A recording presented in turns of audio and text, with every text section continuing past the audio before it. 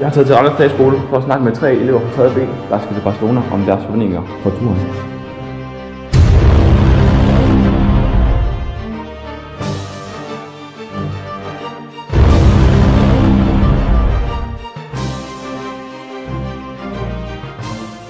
Anders, hvad glæder du dig til?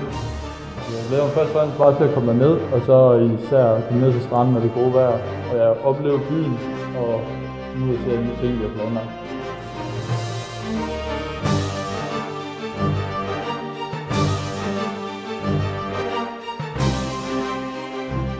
Hvad med dig, Magnus?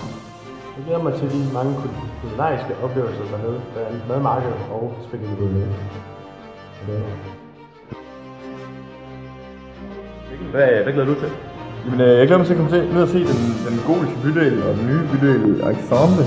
Øhm, så glæder jeg mig rigtig meget til at komme ned og opleve den festival, der er nede i Barcelona i øjeblikket, La Mer, øhm, hvor der er en masse optog nu. Det skal være rigtig spændende.